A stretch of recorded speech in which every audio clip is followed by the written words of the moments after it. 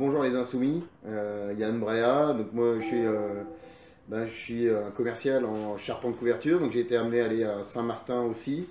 Et j'ai été très surpris par la non, la non préparation par l'État de la protection civile des gens.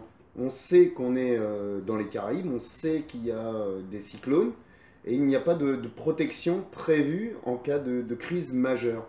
Alors, euh, une fois, Jean-Luc, euh, en venant ici, nous avait dit la Guadeloupe, euh, c'est comme une loupe. C'est-à-dire que ce qui se passe dans notre région peut aussi se passer dans chaque région de France.